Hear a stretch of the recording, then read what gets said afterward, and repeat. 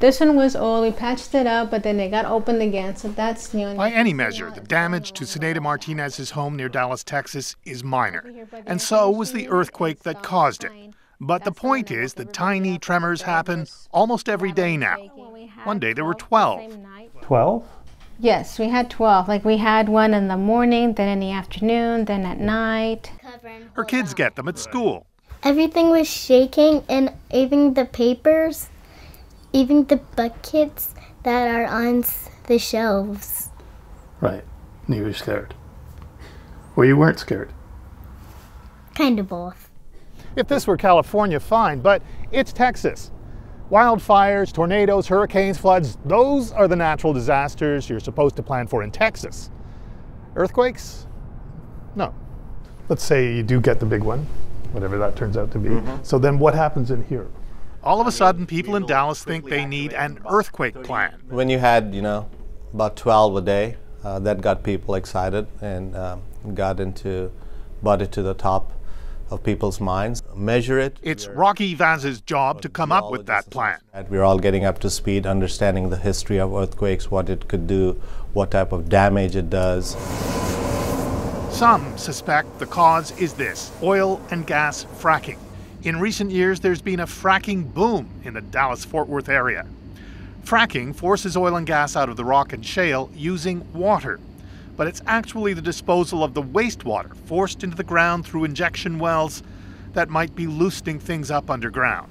Seismologist Brian Stump heads a team trying to solve the mystery of what they call the Texas earthquake swarm.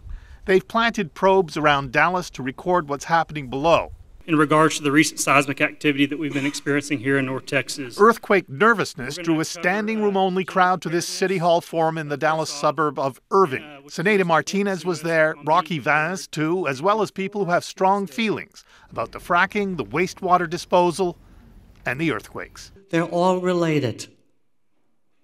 Now, please give us some answers. Thank you. They worry the chemically laced wastewater isn't just causing earthquakes, it's contaminating their groundwater. The fact that they have been widely felt. Stump, the seismologist, could only tell them their theory was reasonable. There are plausible or, pl- or possible linkages between wastewater disposal and the earthquakes. The mayor of Irving, Texas, says she wants to get to the bottom of it all, but when she says things like this about the earthquakes, Mother Nature is a tricky thing. Right now in North Texas, how many times have you had to have your roof redone because of hail? She sounds like she's made up her mind. It's not the fracking wastewater disposal that's to blame. The oil and gas industry is keeping a close eye on how the story develops. Steve Everley, an energy policy consultant, advises that people not rush to judgment simply because of media hype. You see a word like fracking, which sounds like something you wouldn't want to say to your grandmother, and they realize we've got headline bait here. There are three simple steps. Meanwhile, at Abigail School, they're practicing rolling out of their chairs and hiding under their desks in the duck, cover, and hang on tight maneuver. What would you hold on to in the kitchen?